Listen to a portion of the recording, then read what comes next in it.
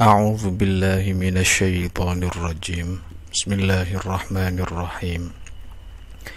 السلام عليكم ورحمة الله وبركاته.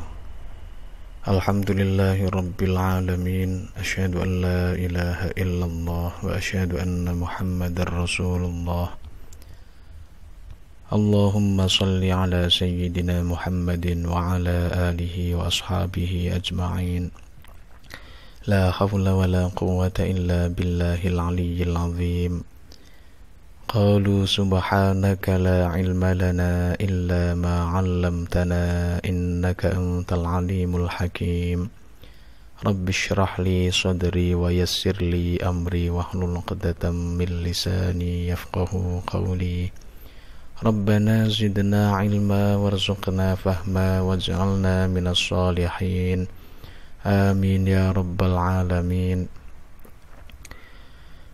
بسم الله الرحمن الرحيم. الفاتحة. بسم الله الرحمن الرحيم. الحمد لله رب العالمين. الرحمن الرحيم. مالك يوم الدين. إياك نعبد وإياك نستعين. اهدنا الصراط المستقيم. صراط الذين أنعمت عليهم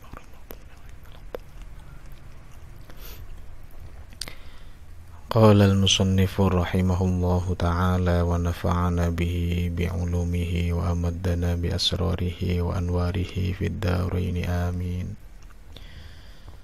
فصل utawi iki iku fasal swiji fi bayani sunnati ing dalem nerangake sunnah wal bid'ah wal bid'ati lan bid'ah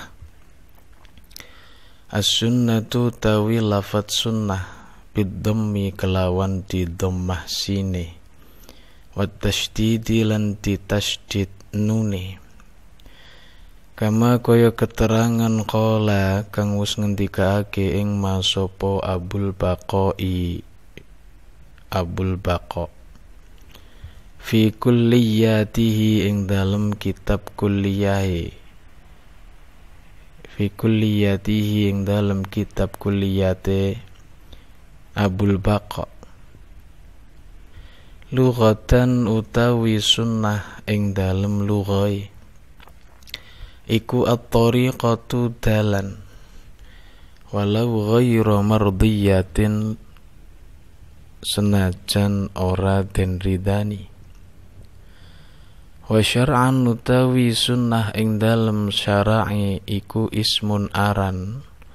Lidhariqati kedue dalan almardiyati kang den ridani. Almaslukati kang den ambah fiddini ing dalem agama salakaha kang ngambah ing tariqah Sapa Rasulullah utusane Allah sallallahu alaihi wasallam. Au ghairuhu tawaliyane jeng Rasul. Mimman bayane saking wong huwa kang utawi man iku alamun wong kang kadung dadi panutan. Fiddini ing dalem agama kas sahabati kaya dene piro-piro sahabat. Radhiya muga-muga ngridani sapa Allahu Allah anhum saking arai sahabah. Liqaulihi krana dawuh Nabi Muhammad sallallahu alaihi wasallam. Rupane dawuh alaikum bisunnati wa sunnatil khulafa'ir rasyidina min ba'di Alaikum natepono sapa sira kabeh. Natepono sira kabeh bisunnati kelawan sunnah ingsun. Tindak lampah ingsun. Wa sunnatil khulafa ilan sunnahe piro-piro khalifah.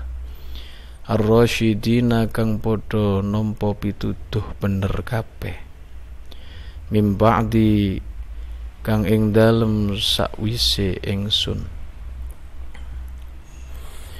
wa urfan lan ing dalem cara adate utawa urfe iku ma perkara wadhaba kang netepi utawa kang langgengake. Alaihi ing atase sapa muktadan wong kang dadi panutan.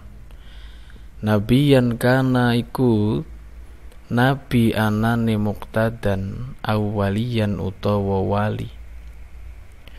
Wasunniyu tawi lafat as-sunniyu. Iku mangsubun den nisbahake utawa den bangsaake apa sunni ilas ilas sunnati maring lafat as-sunnah. Den buang opo atta utae lin nisbati krono bangsaake utawa krono nisbatake Faslun satu fasal yakni fasal yang pertama menerangkan tentang sunnah dan bid'ah. As-sunnatu bid-dhammi wa tashdidi.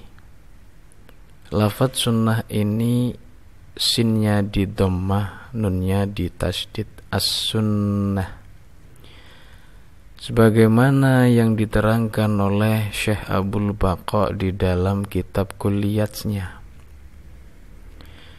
Lughatan at-tariqatu walau ghairu mardiyatin As-sunnah secara bahasa ya, sebagaimana diterangkan oleh Syekh Abdul Baqa di dalam kitab kuliatnya ialah jalan ya, yang ditempuh meskipun tidak diridhoi oleh Allah.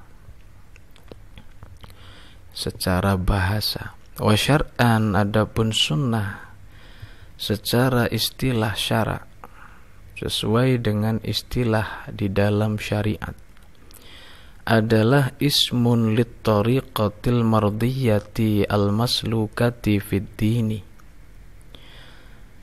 nama atau istilah yang merupakan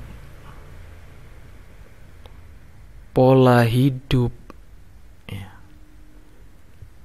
yang diridhoi oleh Allah yang dijalankan atau yang diamalkan di dalam agama atau sesuai dengan aturan agama.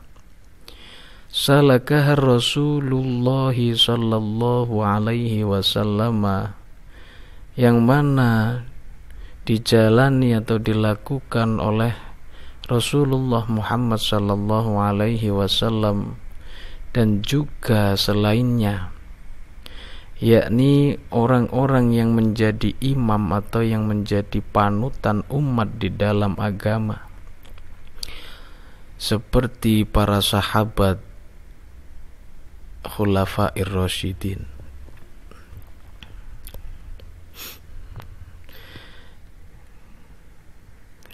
jadi dalam syarak dalam istilah syaraknya sunnah adalah satu jalan yang ditempuh di mana jalan ini diridhai Allah.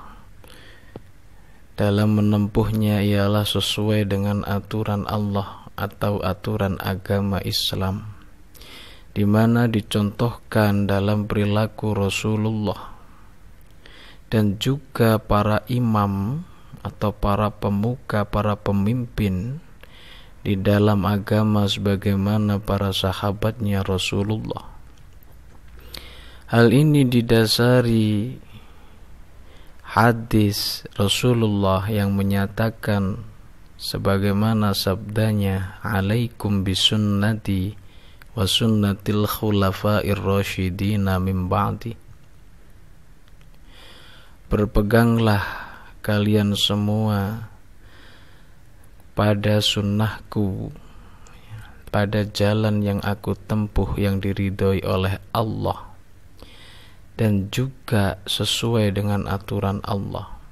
Wa sunnatil khulafa'ir rasyidina beserta jalan yang ditempuh yang diridhoi Allah sesuai dengan aturan syariat Islam yang diamalkan oleh para khalifah yang mendapatkan petunjuk kebenaran setelahku. Ya. Jadi sunnah ialah jalan yang ditempuh oleh Rasulullah dan juga khulafaur rasyidin atau khalifah-khalifah yang berada dalam jalan yang lurus, jalan kebenaran yang diridhoi oleh Allah. Khulafaur Rasyidin ialah para pengganti Rasulullah, yakni khalifah yang empat, sesuai dengan urutannya dan sudah diterima oleh umat Islam, yakni Khalifah Abu Bakar radhiyallahu an Khalifah Umar bin Khattab radhiyallahu an, Khalifah Uthman bin Affan radhiyallahu an, dan juga Khalifah Ali bin Abi Thalib karramallahu wajhah. Kita lanjutkan kemudian sunnah ya, secara urf atau secara tradisi yang sudah dijalankan oleh masyarakat atau sekumpulan orang dan tidak menyalahi kebenaran aturan syarak.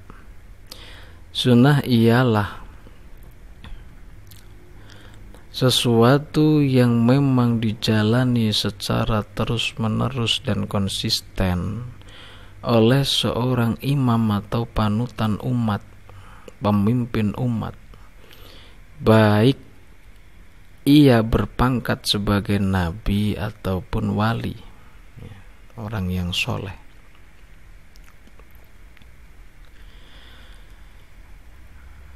Ya, sebagaimana kalau secara tradisi ya sesuai dengan Islam ahlus sunnah wal jamaah ialah mengambil jalan dalam beragama, jalan yang ditempuh dalam beragama sesuai yang dituntunkan, dilakukan oleh Rasulullah, ditempuh oleh Rasulullah dan juga khalifah-khalifah penggantinya yang empat.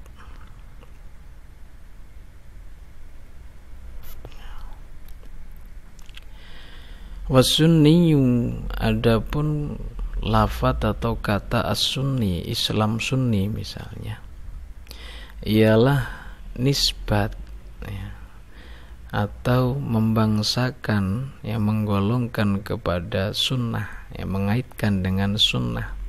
Artinya kalau dikatakan Islam sunni ialah Islam ahli sunnah wal jamaah. Taknya dihapus sebab faid untuk nisbah. Maka kita bisa pahami bahwasannya sunnah di sini yang dimaksud ialah secara bahasa satu jalan atau pola hidup ya, yang dijalani oleh seseorang tah itu diridhoi ataupun tidak oleh Allah ini secara bahasa. Maknanya masih sangat umum Adapun secara istilah sesuai dengan istilah syariat Islam yang namanya sunnah ialah pola hidup yang diridhoi oleh Allah yang dijalani sesuai dengan aturan Allah atau syariat agama.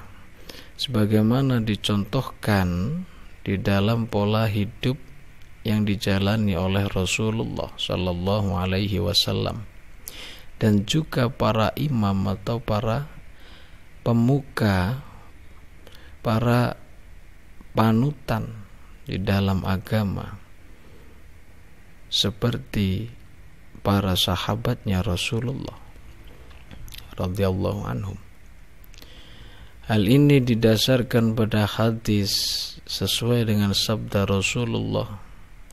Berpegang teguhlah kalian dengan sunnahku dan juga sunnah para khalifah penggantiku yang senantiasa dalam kebenaran.